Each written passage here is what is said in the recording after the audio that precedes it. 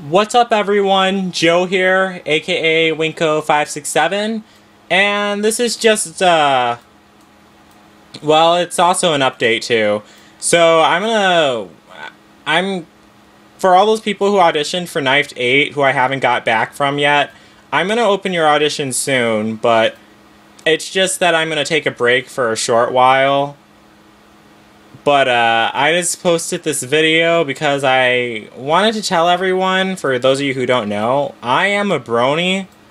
And for those of you who don't know what a brony is, it's uh, a man between, according to Urban Dictionary, it's a male between age 12 to 45 who loves My Little Pony Friendship is Magic. Yeah, it's true. I like the show. It's only because the characters they look really cool in the show. Plus, it has like a lot of magic stuff in it too, and yeah, I'm kind of a nerd when it comes to that. But also, it's funny because the characters have like mental breakdowns in each episode. They're, it's not like those really girly children's cartoons, because all the characters they actually do have flaws and everything. But uh, I drew these pictures. Well, I didn't draw them. I vectored them. Well, I drew them first, then vectored them.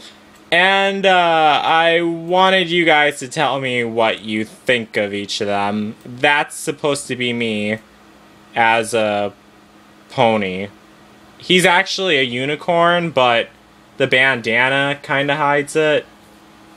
And uh, this next picture that's another picture of me. That's a real me and the ponyfied version of myself.